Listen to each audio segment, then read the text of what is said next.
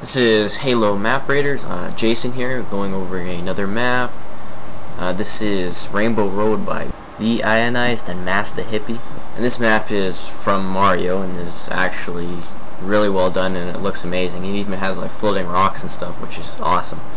This is a racing map, and it's actually one of the better designed ones that I've seen.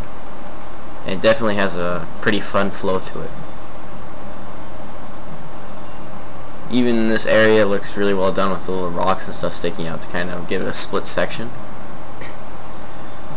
And then each of the little areas has a bit of a spot that you can roll around.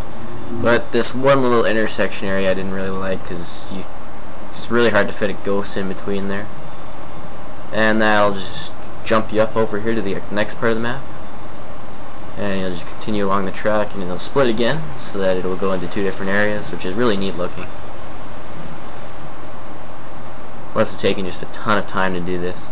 And then when you're done the thing, you can do another track and you just fly through it and it'll teleport you to the other side. And it is quite the map. Definitely something you'll want to check out. And I gave it a 9.1. Comment, uh, send us in your maps, and tell us what you think.